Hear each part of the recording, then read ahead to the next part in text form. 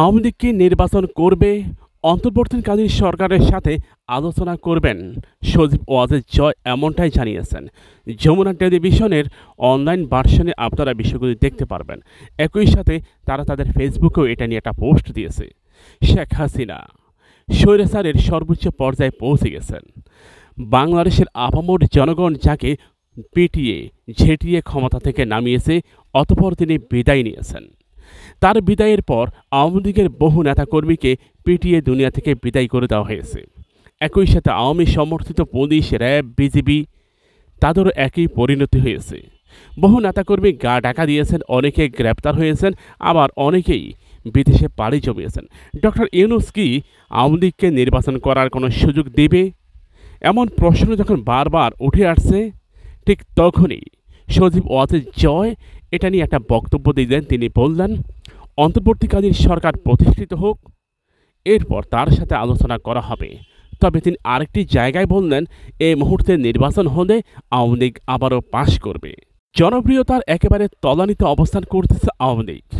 বিপুল পরিমাণ দুর্নীতি, মানুষের উপর অত্যাচার, ছাত্রলীগের নিষ্ঠুর আচরণ, পুলিশ বাহিনীকে দলীয়করণ, বিভিন্ন বাহিনীকে নিজস্ব কায়দায় দলীয়করণ আয়নাগর তৈরি আয়নাগর থেকে একের পর এক বন্দীরা বের হয়ে আসছেন।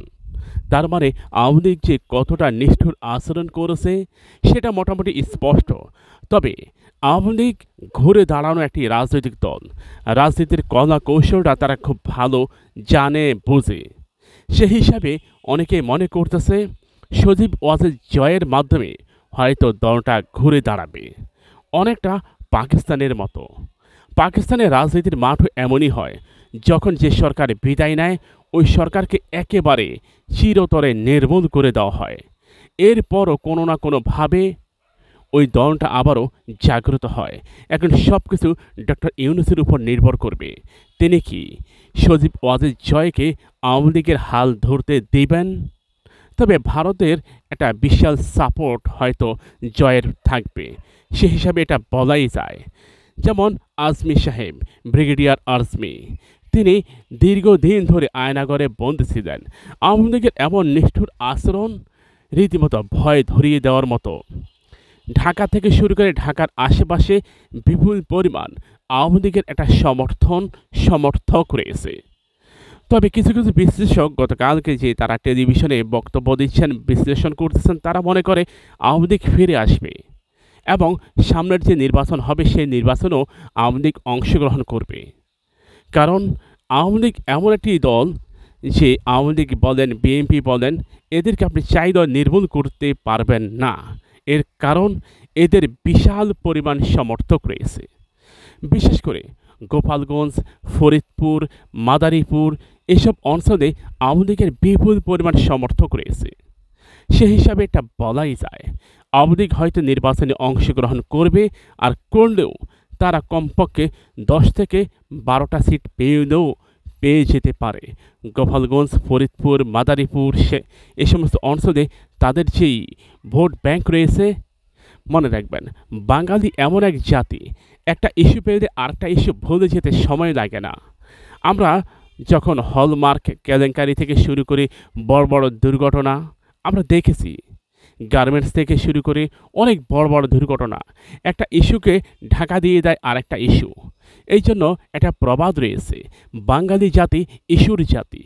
যখনই কোনো ইস্যু আসে, সে ইস্যুকে ঢাকা দিতে নতুন ইস্যু মাঠে নেমে পড়ে। এটাই বাঙালি জাতি। হয়তো নির্বাচন কিংবা নির্বাচনের আমেজে মানুষ ভুলে যাবে। শেখ হাসিনার এই করুণ কিংবা তার বিভৎস তার এই যে ভয়ঙ্কর রূপ, মানুষ ভুলে যাবে। মানুষ ভুলে গিয়ে হয়তো তাকে আবারও সুযোগ দিবে। তবে আপামর জনগণ সুযোগ না দিলেও তার যে সমস্ত এলাকা রয়েছে, গোপালগঞ্জ, ফরিদপুর কিংবা মাদারীপুর, এই সমস্ত অঞ্চলে তার সমর্থক আজীবন থাকবে। কারণ এটা তার নিজস্ব এলাকা। আপনি কখনো বগুড়া থেকে বগুড়া থেকে, শেরপুর থেকে কিংবা এসব অঞ্চল থেকে আপনি কখনোই বিএনপির নাম মুছে দিতে পারবেন না। এই যে আওয়ামী লীগ সতেরো বছর ক্ষমতায় ছিল, আপনি কি মনে করেন বগুড়া থেকে মানুষ বিএনপিকে ভুলে গেছে? ভুলে যায়নি যতই মামলা দেখ, যত কিছু হোক না কেন, এই সমস্ত অঞ্চলে তাদের নিজস্ব সমর্থক থাকে। আপনি যেখানে থাকেন, সেখানকার মানুষ আপনাকে ন্যূনতম হলেও ভালোবাসে। মানুষ কখনো এই সমস্ত স্থানে নতুন কাউকে দেখতে চায় না। সেজন্য এটা বারবার বলা হয়।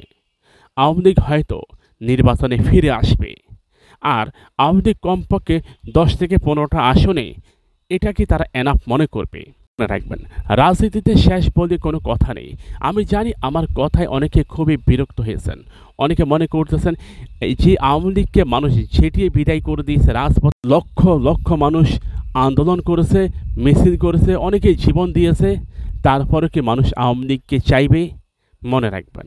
আপনার যাদের উপর টর্চার করেছেন, যাদের বিরুদ্ধে মাঠে নেমেছেন, এরাও কিন্তু আওয়ামী লীগেরই তাই রাজনীতিতে শেষ বলে কোনো কথা নেই।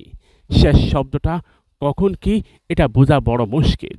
ভারত যদি না ভাঙে, ভারত না ভাঙলে এই দল আবারও আসবে। আর যদি ভারত ভেঙে যায়, আওয়ামী লীগ হারিয়ে যাবে।